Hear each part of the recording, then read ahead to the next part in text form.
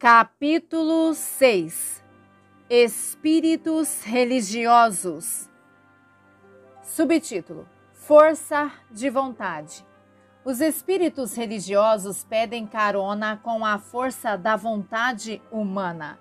A verdadeira adoração a Deus vem somente do Espírito. Deus é Espírito e os que o adoram devem adorá-lo em espírito e em verdade. João 4, 24. A nossa natureza humana, a carne, não é nada parecida com a natureza de Deus, que é espírito. Somente nosso espírito pode se unir ao seu espírito. Veja 1 Coríntios capítulo 6, versículo 17.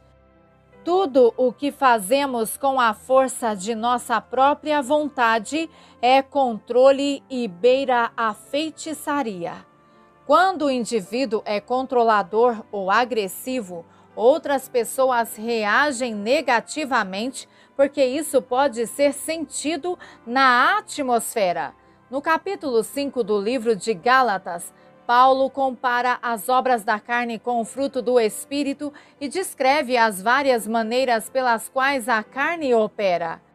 As obras da carne são manifestas com adultério, fornicação, impureza, lascívia, idolatria, feitiçaria, ódio, ira, contenda, sedições, heresias, invejas, assassinatos, embriaguez, afrontas e coisas semelhantes, das quais eu digo antes, como também fiz e já vos disse, que aqueles que fazem tais coisas não herdarão o reino de Deus.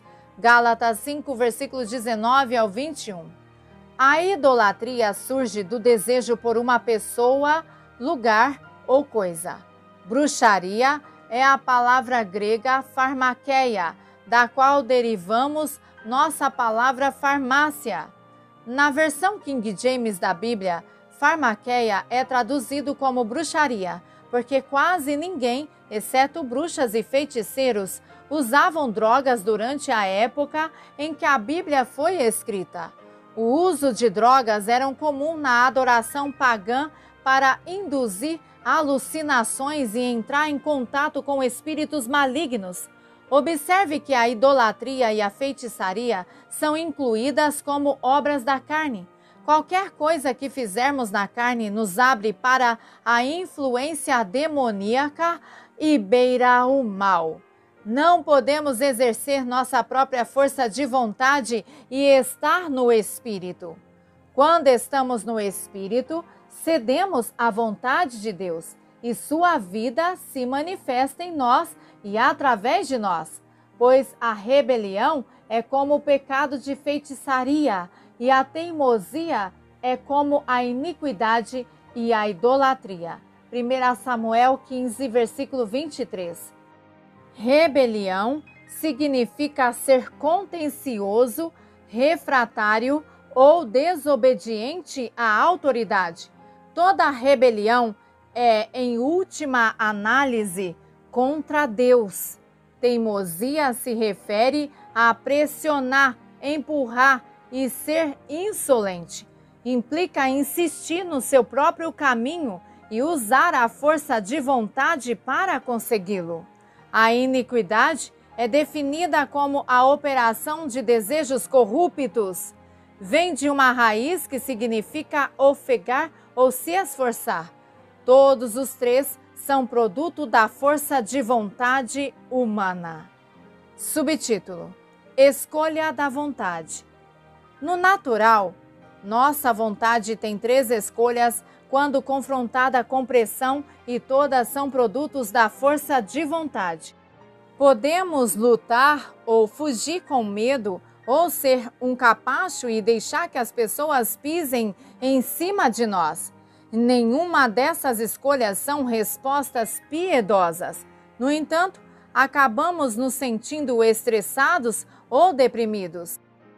Quando lutamos e lutamos pelo controle e tentando controlar, se evitarmos certas pessoas ou situações, deixamos que o medo seja nosso guia em vez de Deus. Quando paramos de tentar, ficamos com raiva por termos cedido e nossa raiva se volta para nós mesmos e ficamos deprimidos. Uma definição de depressão é raiva voltada para dentro. Uma pergunta a se fazer se você começar a se sentir com raiva e se sentir deprimido é: o que eu quero e não estou conseguindo? Quando respondemos a essa pergunta, sabemos o que precisamos entregar nas mãos de Deus e que é a nossa verdadeira fonte de ajuda.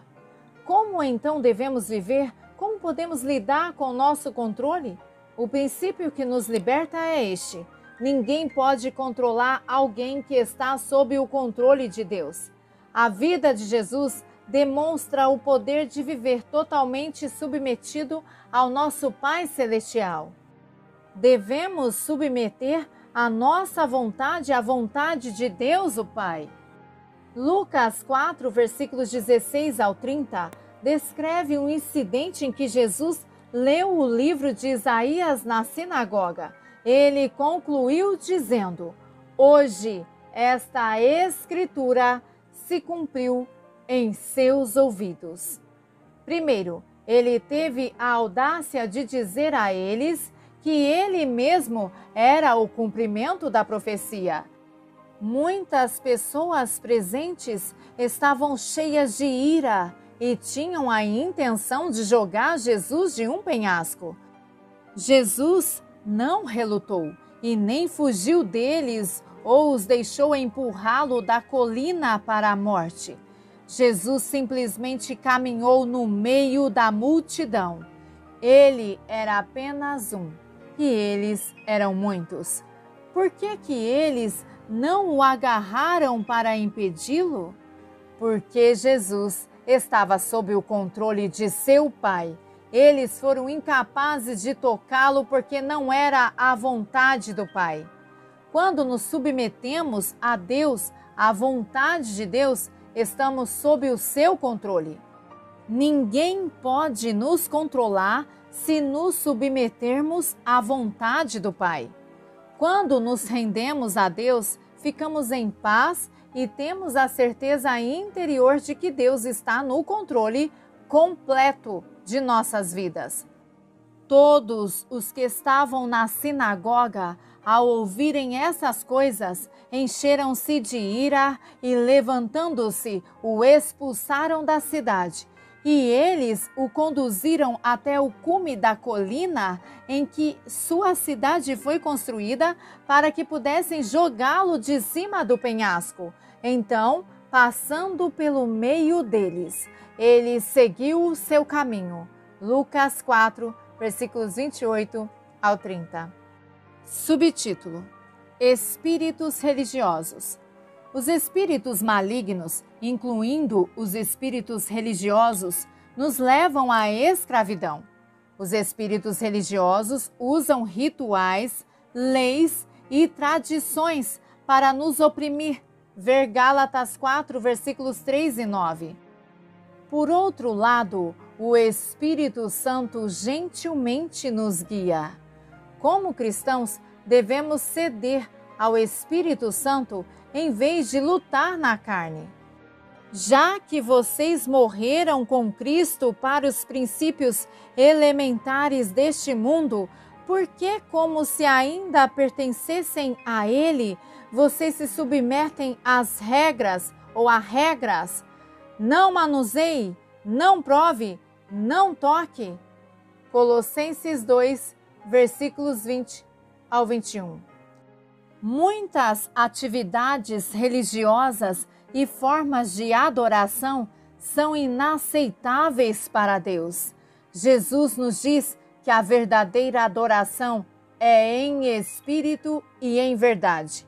A adoração flui de nosso coração, envolvendo nosso espírito, e a verdadeira doutrina é conhecida por nossa mente.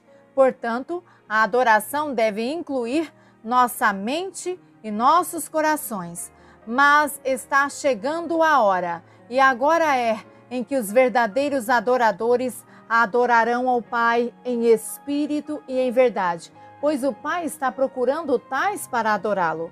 Deus é espírito e aqueles que o adoram devem adorar em espírito e em verdade. João 4, versículos 23 e 24. O combustível da adoração é a verdade de um Deus gracioso e soberano.